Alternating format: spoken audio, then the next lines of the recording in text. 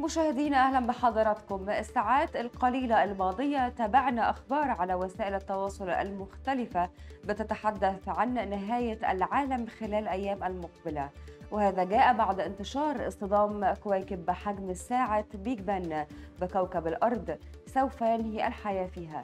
ما مدى صحة هذه الأخبار وهل بالفعل يوجد كويكب سوف يصطدم بالأرض أم لا؟ في هذه التغطية سنجاوب حضراتكم على هذه الأسئلة. في البداية سنخبر حضراتكم ماذا حدث في الساعات القليلة الماضية. انتشر الكثير من الأخبار على منصات التواصل الاجتماعي وال social media عن قرب اصطدام كويكب GD 2 بالكرة الأرضية التي سيكون سبب في نهاية الحياة على كوكب الأرض وفناء البشرية. أيضا بيتردد من حين لآخر أخبار كثيرة عن اصطدام كويكب بالكرة الأرضية وإنه سيتسبب في الكثير من الدمار والهلاك لجميع سكان الأرض. وبيتم الترويج من تلك الأخبار على مواقع التواصل الاجتماعي وبيقوم أصحاب نظريات نهاية العالم وقيام الساعة بتسليط الضوء بشكل كبير على تلك هذه الأخبار. وحذر علماء وكالة الفضاء الأمريكية ناسا من مرور كويكب بحجم ساعة بيج بن الشهيرة في لندن بالقرب من الأرض خلال أيام على بعد 3.4 مليون ميل أي 5.4 مليون كيلو متر وفي حين أن هذا قد يبدو بعيدا إلا أن ناسا تصفه أنه نهج قريب من الأرض بل وتقول أن هذا الكويكب يحتمل أن يكون خطيرا. وبخصوص هذا الموضوع فكان المعهد القومي للبحوث الفلكية له رد هام. فقال الدكتور أشرف شاكر رئيس قسم الفلك بالمعهد القومي للبحوث الفلكية أن الأخبار المتداولة بخصوص اصطدام كويكب بالكرة الأرضية خاطئة. وهدفها فقط هو بث الرعب ليس إلا وأنه لا يوجد أي خطر من اصطدام كويكب بكوكب الأرض وأن كوكب الأرض يحيط به أجرام سماوية كثيرة داخل المجموعة الشمسية وخارجها. وأضاف شاكر أن هناك أجسام كثيرة تسبح في الفضاء منها حجما كبير وأخرى صغيرة. وأن مرور مثل هذه الكويكبات ليس أمرا نادرا الحدوث وأن كل منها في مدار خاص بها.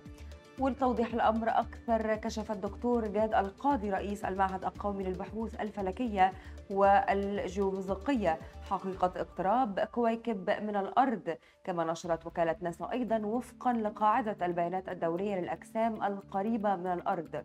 وأكد القاضي على أن الكويكب الذي يمر بجوار الأرض لم يصدم بها ولا يشكل أي تهديد على البشر وأنه سوف يمر بشكل آمن تماما ولا يمثل أي خطورة على سكان الأرض.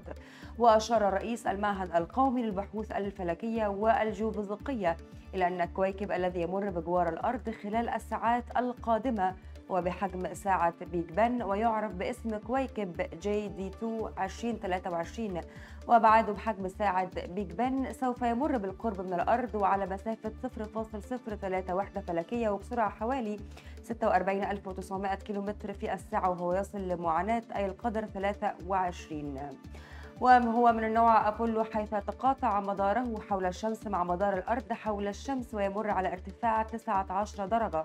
وأوضح أيضا أن كوكب الأرض يحيط به أجرام سماوية كثيرة داخل المجموعة الشمسية وخارجها. هناك أجسام كثيرة تسبح في الفضاء منها حجمها كبير وأخرى صغيرة. كل منهما في مدار خاص بها. وأضاف أيضا رئيس المعهد القومي للبحوث الفلكية أنه دائما ما تكون تلك الأجرام السماوية والكويكبات والمذنبات والأجسام الفضائية على بعد كبير للغاية من الكرة الأرضية حيث تبعد تلك الأجسام الفضائية على بعد مرتين إلى ثلاث مرات من المسافة بين الأرض والقمر. ولذلك فهي مسافة آمنة للغاية علينا نحن البشر في كوكب الأرض وأننا في المعهد نحرص دائما على الرد على جميع ما يشاع من أخبار على مواقع التواصل الاجتماعي وخاصة أنه كثير من المعلومات التي تخرج تكون غير دقيقة. مشاهدينا بكده نكون وضحنا لحضراتكم الأمر من خلال مسؤولين في المعهد القومي للبحوث الفلكية علشان نطمئن حضراتكم وأنه لا داعي للإنساق وراء الشائعات ويجب أن نستقي المعلومات من الجهات الرسمية منعا لحدوث البلبلة وإثارة الرعب. بشكر حضراتكم على حسن المتابعة وإلى اللقاء.